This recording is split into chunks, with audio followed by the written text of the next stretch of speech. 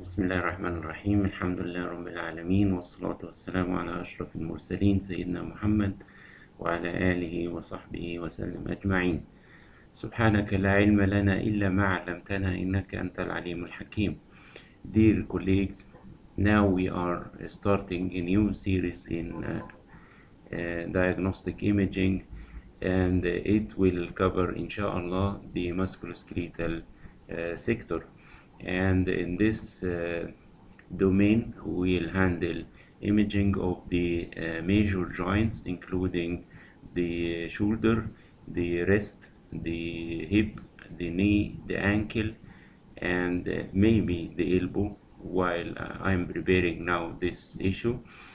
And uh, also we'll handle the uh, diagnosis of uh, bone tumors using uh, plain x-ray CT and MRI and uh, we'll have also a very long lecture about uh, the imaging of arthropathies.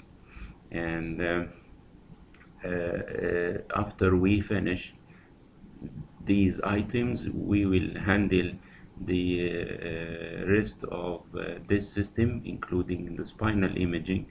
And uh, there are a lot of topics that will be handled in the uh, sector of spinal imaging inshallah. Now we'll start by the imaging of the one of the famous and commonly seen uh, joint in the clinical practice which is the knee joint. And we will uh, handle the knee joint in two lectures. The uh, part one will uh, be uh, about the meniscal imaging and ligamentous pathology and part two will cover the remaining issues in the uh, knee joint. And you know that uh, we usually uh, uh, examine the knee joint by MRI for these particular complaints especially uh, the local complaints like knee, knee uh, pain or trauma or swelling and uh, sometimes in cases of uh, suspected inflammation or tumors.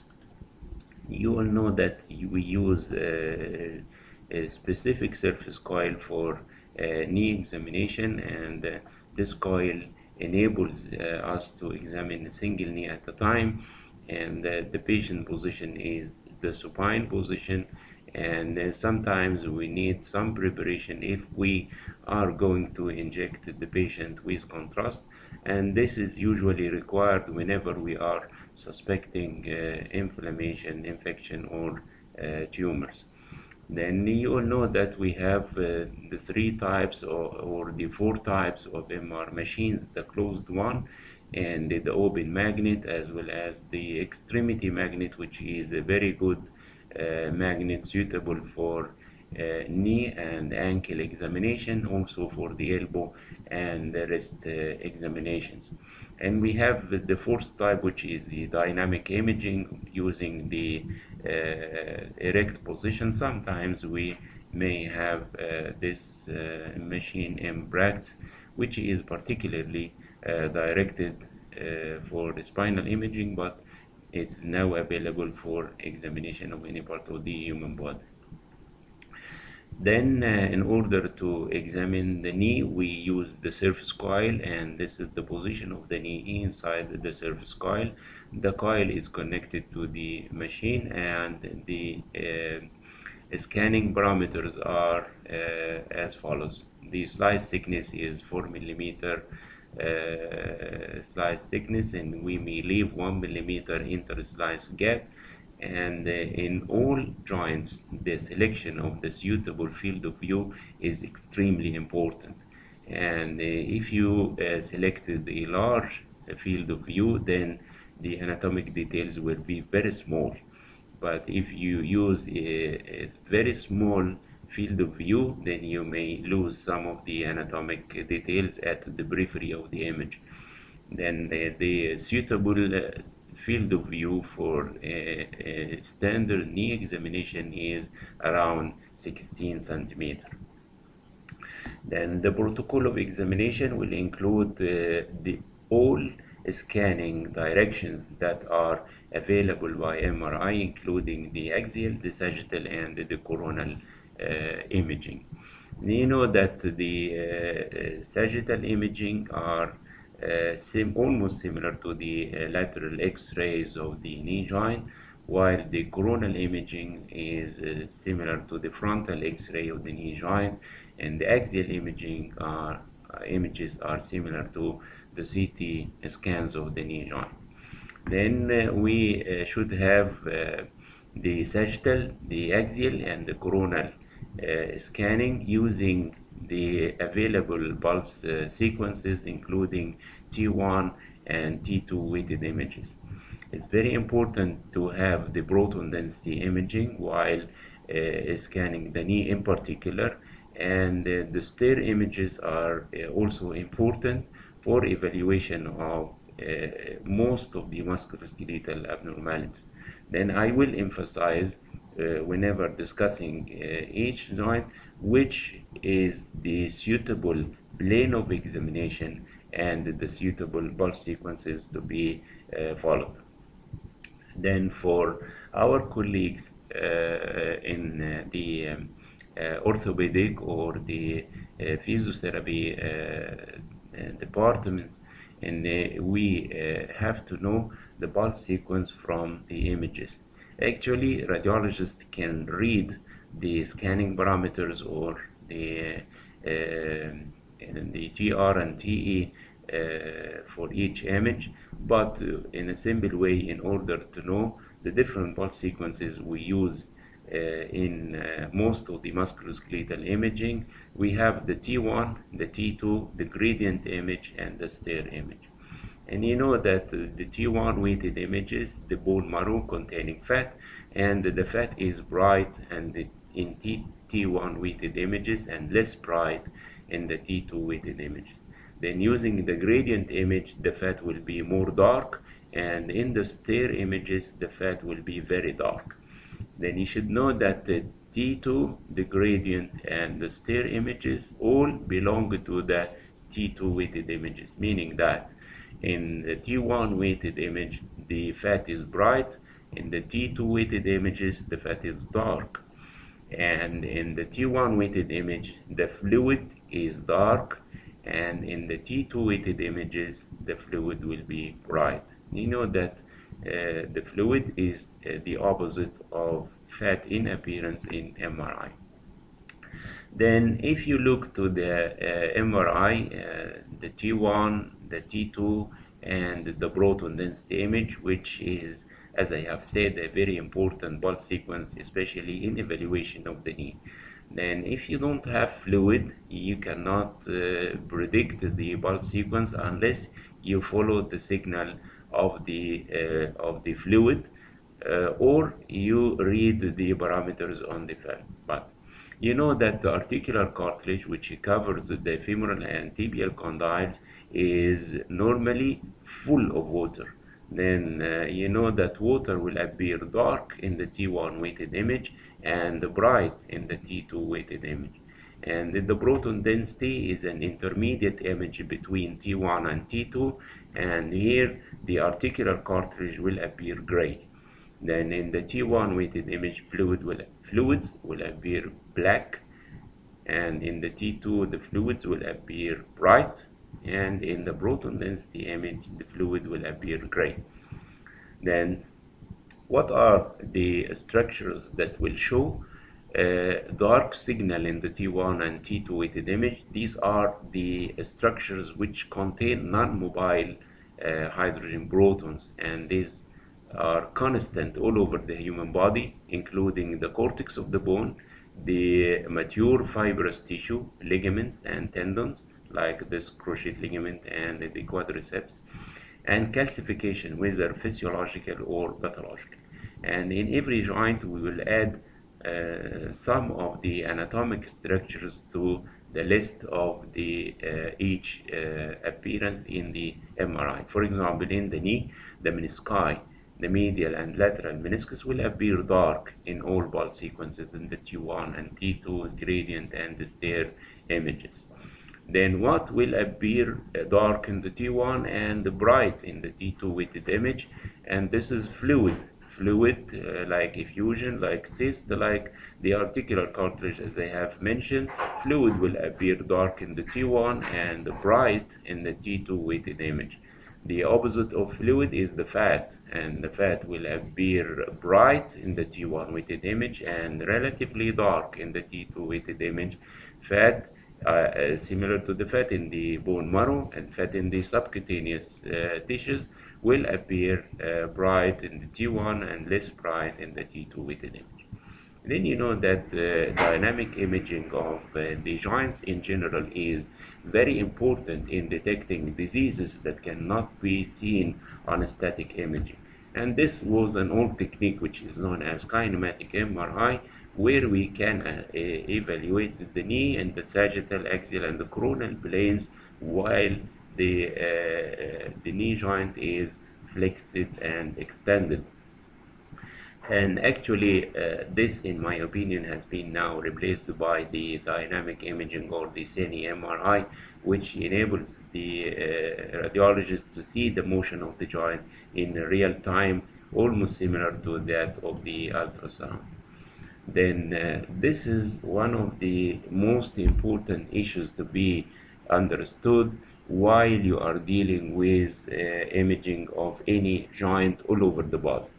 There should be a, a method or there should be a way to uh, go through the joint and uh, know the anatomy and also predict the uh, different pathologic uh, issues and the, the, the plan for evaluation of the knee joint is to know the anatomic structures in the knee and where they are better seen in the images and what is the normal appearance of each of these structures then we will uh, also uh, um, uh, mention the different pathologic uh, entities in each particular anatomic area. Then you know that the the knee joint in the knee joint we have the meniscus we have the medial and lateral menisci the cruciate ligament, the anterior and posterior cruciate ligaments, the tendons, the quadriceps and the infrapatellar tendon, the bones, including the femur, tibia, and fibula, and also we have the synovium if it collects fluid, and then we have synovial effusion. Also, we have uh, the retinacular ligaments, and we have also the collateral ligaments then as you can see here that uh, the sagittal images are very important showing most of the anatomic details in the knee while we need the axial for evaluation of the retinacular ligaments and we need the coronal for evaluation of the collateral ligaments. Um, in fact, the axial has many advantages, other advantages, and also the coronal, but these are the main uh, uh, values of each of these planes. Then in the knee joint, we should have more sagittal images and uh, we limit the axial and the coronal images. So the usual protocol of the knee joint will include three sagittal images the sagittal T1, sagittal proton density, and sagittal T2 weighted images. And, and the last one the T2 can be replaced by the gradient, sagittal gradient or T2 star images. In the axial uh, images, we have the T2 axial uh, images, and in the coronal, we can have the gradient or the star or both imaging, uh, both uh, sequences for uh, coronal uh, images. Then uh, we'll start the anatomy and we'll start by the menisci.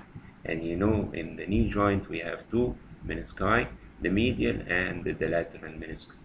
The medial meniscus is like the banana with a wider curve while the lateral meniscus is similar to the letter C and the curve is relatively narrow then you should know that uh, the uh, uh, posterior horn of the medial meniscus is the largest horn of all the menisci. And first, you, you should know that the meniscus is composed of two horns, the anterior and posterior horn and the meniscal body. And the meniscus is wedge shaped, meaning that it is thick from the periphery and thin from the its medial aspect. Then the uh, posterior horn of the medial meniscus is the largest horn on, in, in both menisci. And you should know also that the posterior horn of the medial meniscus is uh, tightly attached to the capsule and this important this is a very important uh, uh, knowledge which will help us for uh, diagnosis of many of the diseases affecting this particular area. Then if you look to the knee joint and knee you will see the uh, medial meniscus and you can identify the medial meniscus. If you have a section like this then you are cutting in the anterior and posterior horn and there is a gap in between. Then if you are if you're having a section through the meniscal body and you have structure like this structure which is almost similar to the intervertebral disc then this is the meniscal body and this is the anterior horn and this is the posterior horn and you know the anterior horn by the presence of the patella and the posterior horn is, is directed uh, towards the popliteal fossa. As I have said then the posterior horn of the medial meniscus is large while the, the anterior horn is uh, compared to the posterior horn is relatively small. Then the lateral meniscus in both horns are are equal in size. And uh, then you see the anterior horn and the posterior horn they are almost equal in size. And uh, the, this is the meniscal body. In order to know which meniscus you are dealing with then the lateral meniscus is identified by the presence of the fibula and also by the shape of the tibia. And you should see that this appearance of the tibia is made to uh, uh, let the fibula articulate with this particular part of the tibia. Then you know that the lateral meniscus is identified by the fibula by the shape of the tibia and by the fact that its anterior horn is almost equal in size to its posterior horn while the medial meniscus is identified. By the shape of the of the tibia also? And you don't see the uh, space for articulation of the tibia the, the surface of the tibia on the medial aspect is flat. And there is no fibula and by the fact that the anterior horn is smaller than the posterior horn then if you look to the uh, meniscal anatomy and you have section like this then you have the anterior horn and the wide gap and the posterior horn like this. This is the anterior horn and the wide gap then the posterior horn. Then if you go close to the meniscal body the gap will be small.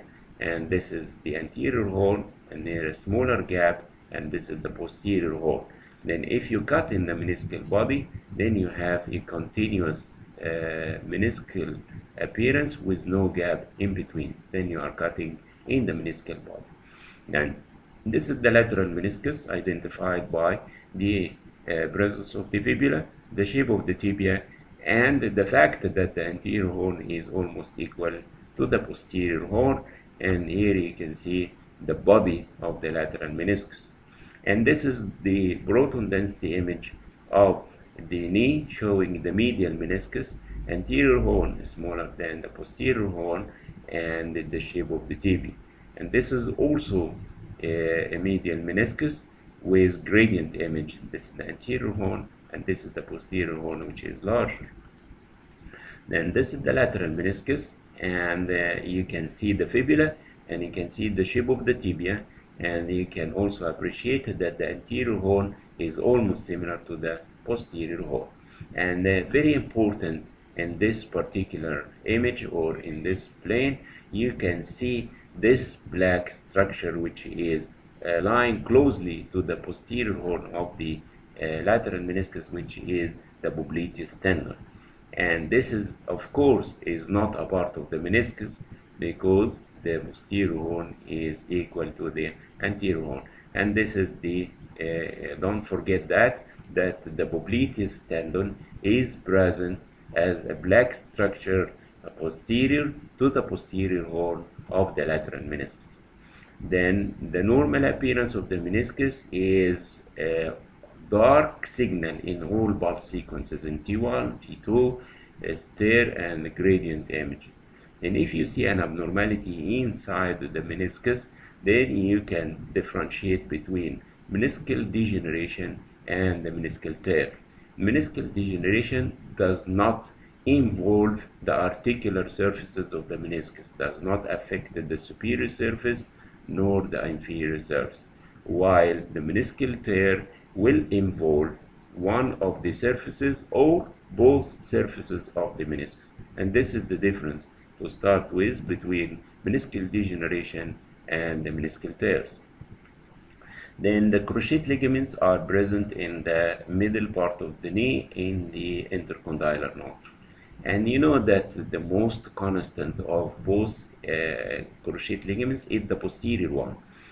The both ligaments will arise from the posterior surface of the femur and the uh, posterior cruciate ligament will attach to the posterior surface of the tibia while the anterior cruciate ligament will go anteriorly to attach uh, to the anterior surface of the tibia. Then, as a rule, in order to identify the anterior and posterior cruciate ligaments, you uh, should first identify the posterior, which is more constant.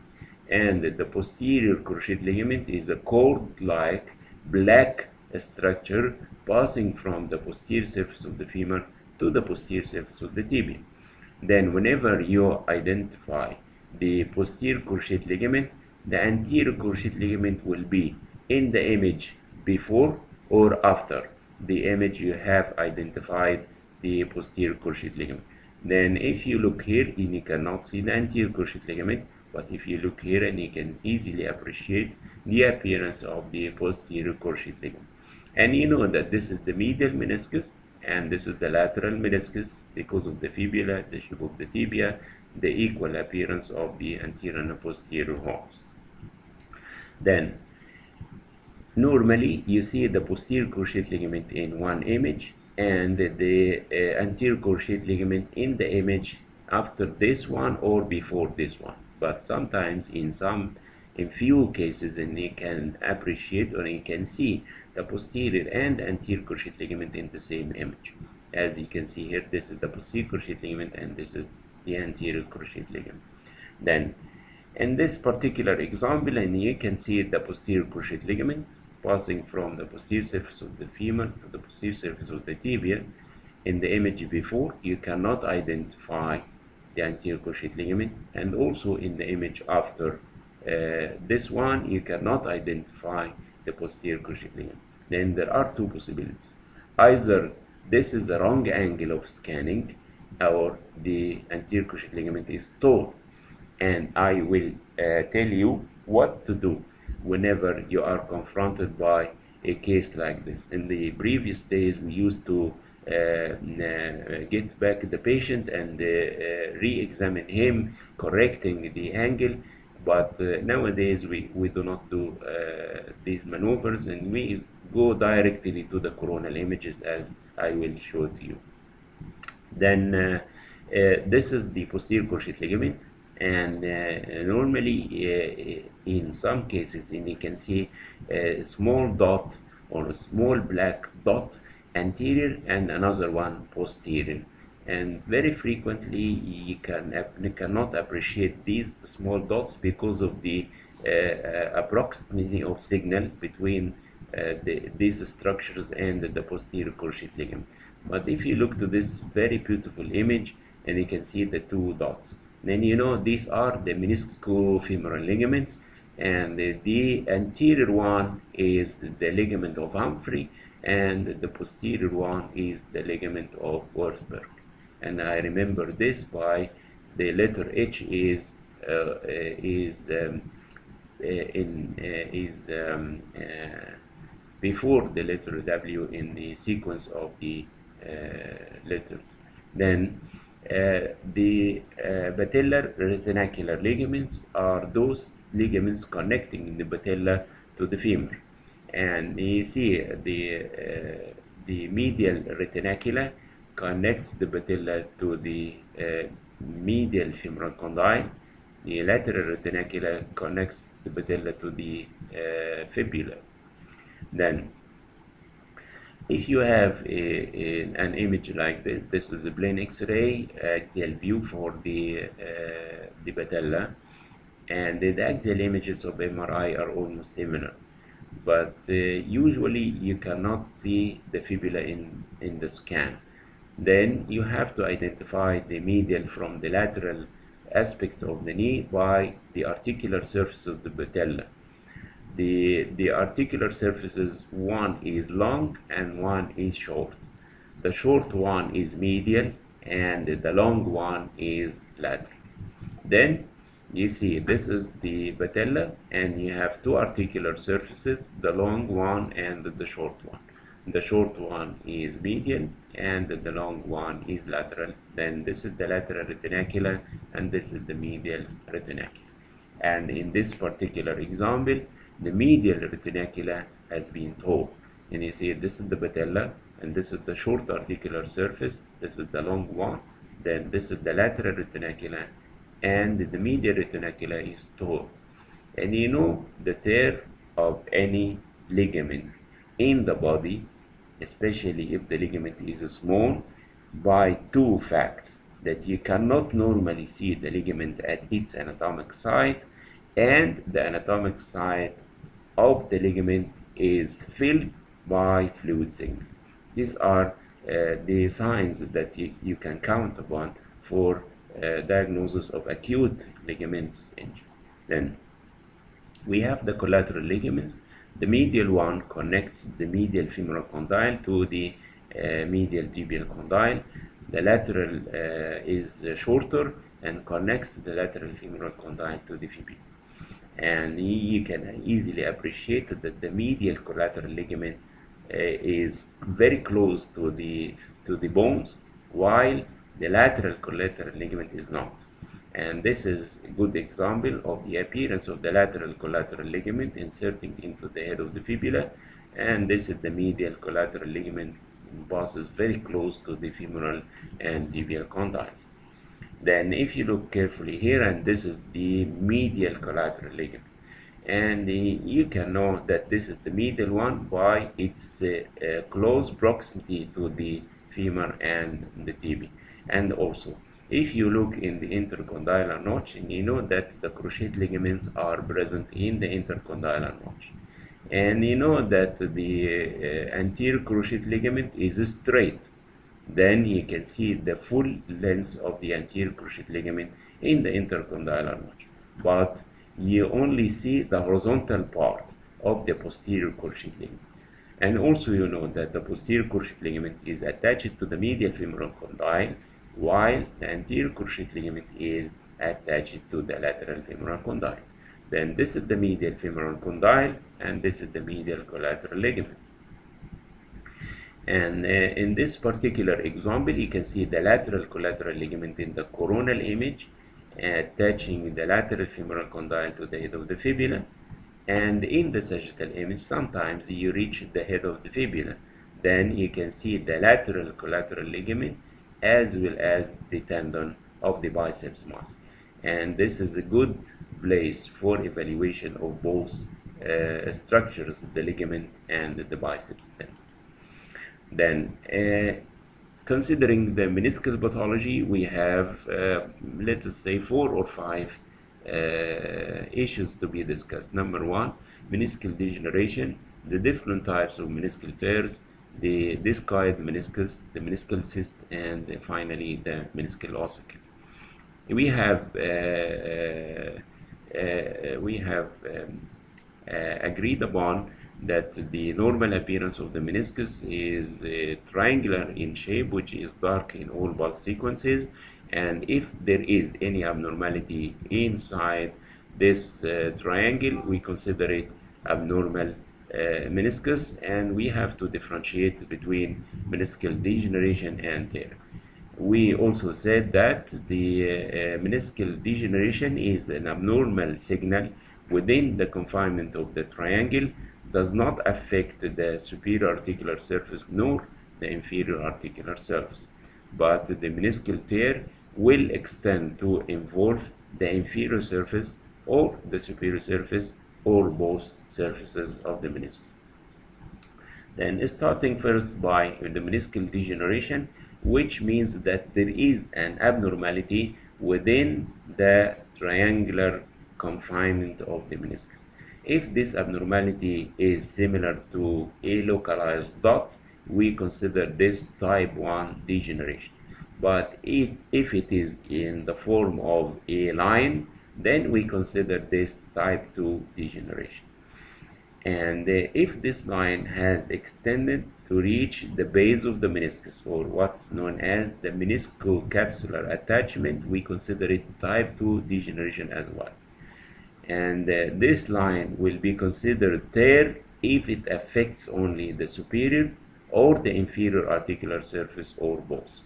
Then if you look for this example and you see the posterior horn of the medial meniscus showing a central dot of abnormal signal, diagnostic of grade 1 or type 1 degeneration. And here you see a band-like uh, abnormal signal within the meniscus with intact superior and inferior uh, articular surfaces. And also in this example, you see a similar lesion, and this represents grade 2 meniscal degeneration. Then a type of meniscal degeneration is known as meniscal fraying. And this means that there is some degeneration of the medial border of the meniscus itself. And this will appear in MR imaging like this appearance. And you see this is the lateral meniscus the fibula the shape of the tibia. And the, the tip or the medial portion of the posterior horn is of abnormal signal compared to the rest of the meniscus. And this is what we call meniscal fraying. It's not that common in the clinical practice but you should know that this is one of the uh, types of meniscal degeneration. We have three types type 1 in the form of dot type 2 in the form of line type uh, this is not type 3 but this is one of the types and is known as meniscal fraying then if the abnormality within the meniscus has reached the articular surfaces then we call this uh, a meniscal tear. And if the tear has disrupted one of the surfaces we call this uh, horizontal tear. If it is uh, disrupting the superior and inferior articular surfaces we call this vertical tear. And the complex tear will be branching inside the uh, horn of the meniscus. Then you remember that we have said that the type 2 meniscal degeneration is in the form of a line of abnormal signal within the horn of the meniscus, commonly the posterior horn of the medial meniscus. Then if this line has extended a little bit, it will disrupt one of the surfaces, more commonly the inferior articular surface then uh, this tear is originally a degeneration. And by time it has converted into a tear and so they call this the degenerative horizontal tear. Then look at this. This is meniscal degeneration abnormality within the meniscus with intact superior and inferior articular surfaces. Then uh, this is the tear line which is disrupting the inferior articular surface of the meniscus then you have the horizontal tear, the vertical tear, and the, root tear. These are the simple tears in the meniscus. Then the complex tears will include the flap tear, the bucket handle tear, and the meniscocapsular separation. The horizontal tear is originally a type 2 degeneration that has extended to affect one of the surfaces of the meniscus like this one and here you can see a horizontal line and this line is extending to the uh, read to reach the inferior articular surface. If it disrupts the meniscocapsular attachment but the articular surface is intact, we call this degeneration. But this is referred to as tear when it affects either the inferior or the superior articular surface. And it's a good example of horizontal degenerative tear affecting the posterior horn of the medial meniscus, disrupting the meniscocapsular attachment as well as the inferior articular surface. And this is an example of vertical tear. The vertical tear is usually post-traumatic and it affects usually the medial meniscus. You remember that uh, the posterior horn of the medial meniscus is firmly attached to the capsule and so it is more liable for traumatic injuries. Then you see this is the vertical tear affecting the superior and inferior articular surfaces usually located in the outer third of the posterior horn of the meniscus.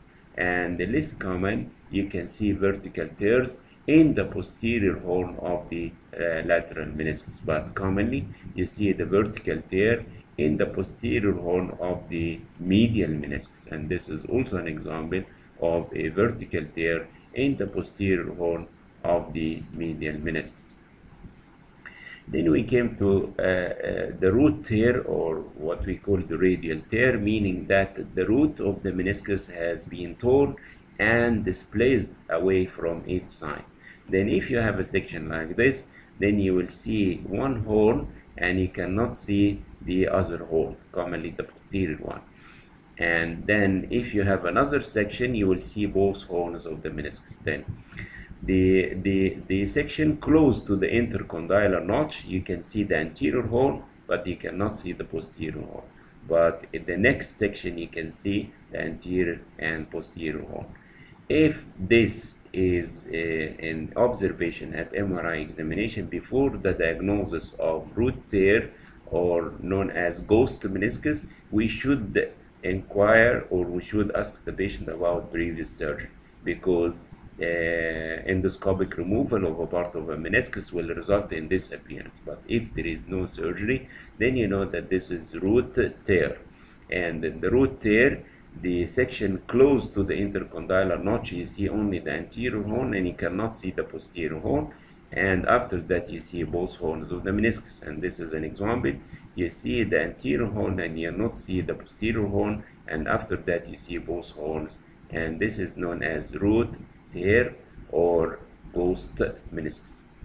And if you see a tear which is branching inside the meniscus like this one, a line like this and line like this and line like that, this is known as complex tear. And um, this is one of the complex tears in the meniscus and is known as the flap tear or the fish mouth tear. And the flap tear by definition has uh, two main components, a horizontal one and a vertical one. Then if you look here and you can see there is a horizontal component and a vertical component of the tear and uh, this is also an example. And you see a horizontal component and you see a vertical component diagnostic of flap tear and also here you see a vertical component and the horizontal component and this is flap tear. Then we came to the bucket handle tear, which is a common lesion in the uh, medial meniscus and less common in the lateral meniscus. What happens is a tear inside the body of the meniscus, and by time you got two meniscal fragments, and the, the medial one is displaced inside the intercondylar notch, giving this appearance which is uh, similar to the uh, handle of a bucket meaning that this is the bucket and this is the handle. The handle uh, represents the uh, meniscal fragment which is displaced inside the intercondylar notch.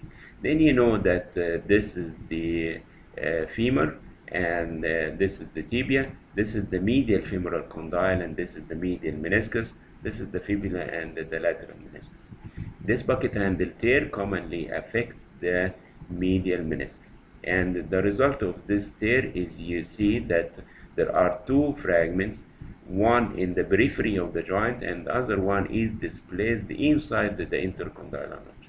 And if you remember that the uh, cruciate ligaments are present here and uh, in this particular area you see the horizontal part of the posterior cruciate ligament and here you can see the anterior cruciate ligament. Then this meniscal fragment will be displaced below the posterior cruciate ligament.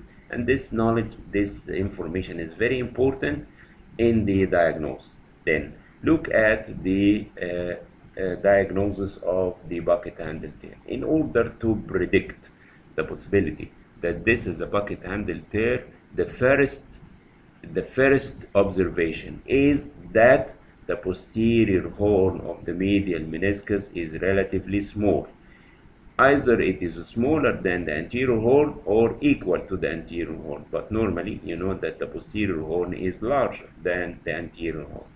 Why the posterior horn is smaller? Because of a fragment of the horn is not present. Then where is this fragment? Is it lies below the posterior cruciate ligament giving the appearance which is known in imaging as the double posterior cruciate ligament sign. And you see the posterior cruciate ligament and this is the meniscal fragment which is which is displaced inside the, the notch below the posterior cruciate ligament. Then in order to diagnose the uh, bucket handle tear, first look at the posterior horn of the medial meniscus. If it is smaller than usual, go to the level of the posterior cruciate ligament. And if you see double posterior cruciate ligament, then you are sure that this is a bucket handle tear. And you can confirm your diagnosis by looking at the coronal image. In the coronal image, you see the, the, the, the, the medial meniscus, part of the meniscus is present at the periphery, this one, and the part of the meniscus is displaced in the intercondylar notch below the posterior cruciate ligament.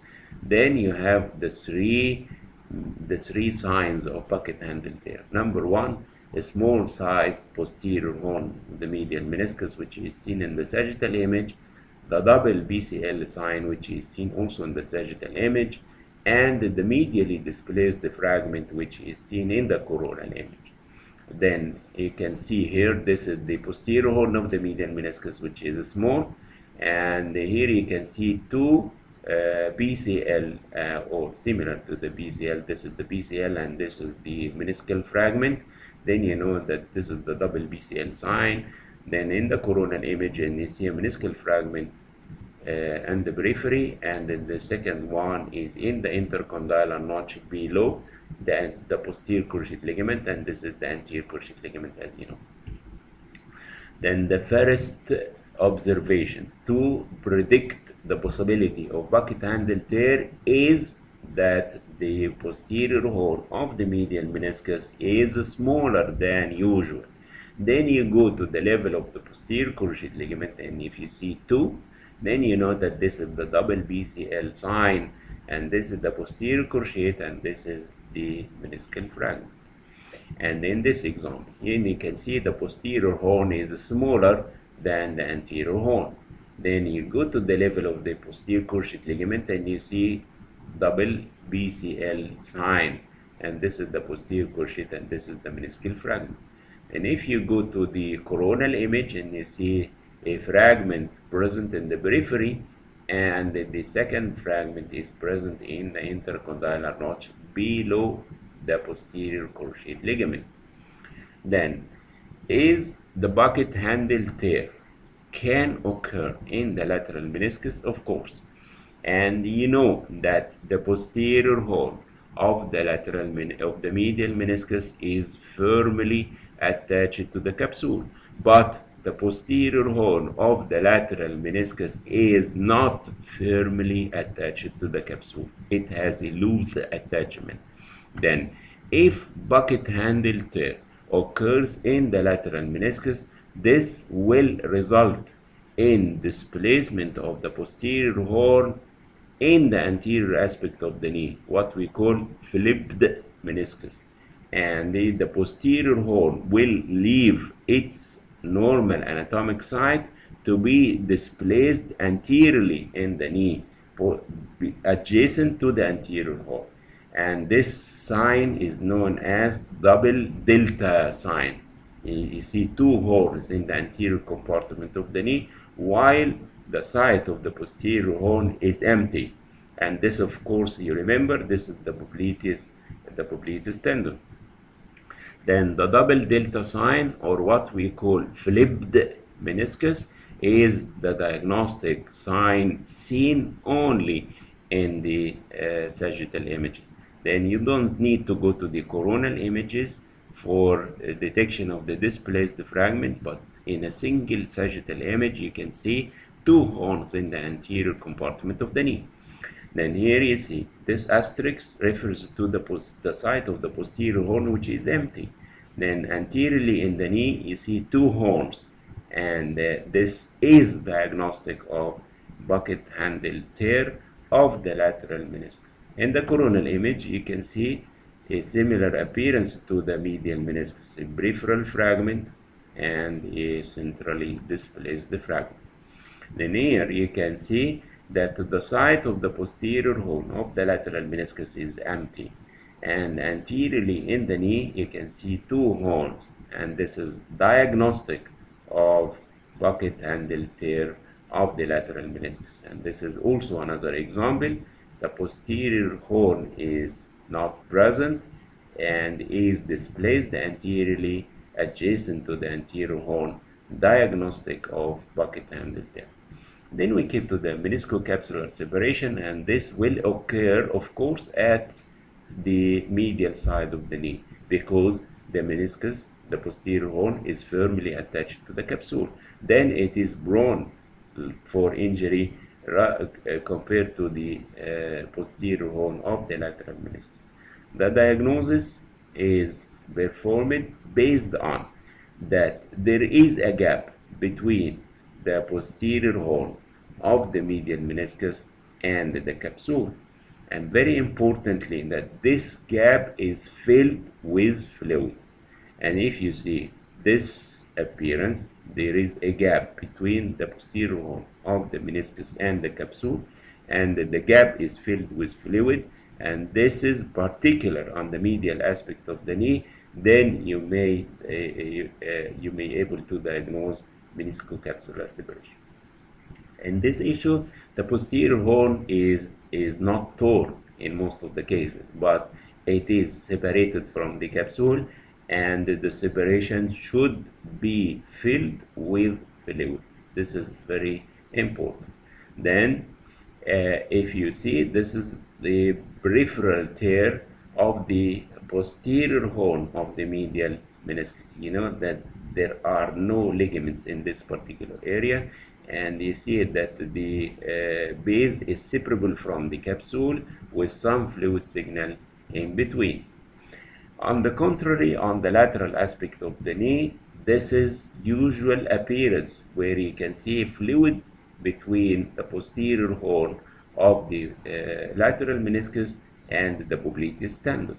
And this is a case of trauma. You can see the bone marrow contusion and the edema which is black in the T1 and bright in the T2. But this is not a meniscocapsular separation. Then sometimes you uh, have this appearance while examining the knee. You can see that the posterior horn of the uh, of the medial meniscus in particular has an irregular outline with heterogeneous signal in both T1 and the T2 weighted images. Then in, uh, in, in, the presence of history of trauma, this may be diagnostic of what we call meniscal contusion. Then uh, discoid meniscus means that the body of the meniscus is larger than normal. Discoid meaning disc-like uh, meniscus and then the meniscal body is markedly enlarged and the horns are attenuated. It is not disc but discoid similar to the disc. Then normally if you have sagittal sections you can see the, the meniscal body in a single or two slices but if you can see the meniscal body in three or more sagittal sections then you are dealing with a discoid meniscus. The discoid meniscus is more common on the lateral aspect of the knee, but it can also affect the medial meniscus. And in these images, you can see that this is the meniscal body, the meniscal body, the meniscal body, the meniscal body, and the meniscal body. Then you see five sagittal sections containing the meniscal body, meaning that it is enlarged, and this is uh, discoid meniscus.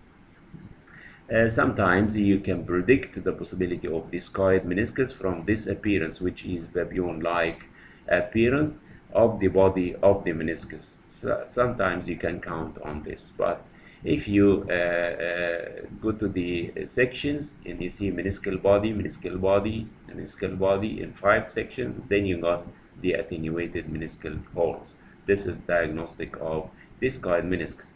And this is also discoid meniscus, and you know, the discoid meniscus is an abnormal meniscus which is liable for degeneration and tears compared to the normal uh, meniscus. Then uh, the meniscal cyst or what we call the para-meniscal cyst is the cyst containing fluid which is related to the base of a torn meniscus.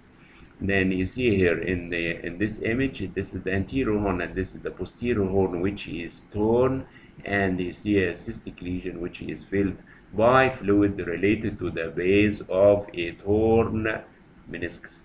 This meniscal or parameniscal cyst is common on the lateral aspect of the knee, but can also occur on the medial aspect of the knee. The differential diagnosis will include the ganglion or synovial cyst, which is not related to a meniscal tear, and uh, which is related to inflammation of any of the bursa related to the knee. We'll discuss this in the second uh, part of this uh, talk. Then uh, cystic masses like uh, hematoma or meningioma or uh, cystic neoplasms and the popliteal tendon sheath fluid uh, or the fluid related to the posterior horn of the lateral meniscus as I have mentioned. But you remember that parameniscal cyst is a cyst which is related to the posterior horn of a torn meniscus. And the common sites are the anterior horn lateral meniscus and the posterior horn medial meniscus. And this is also an example. And you see uh, this is uh, the meniscus and uh, there is a tear inside the meniscus and there is a cyst which is related to the torn meniscus.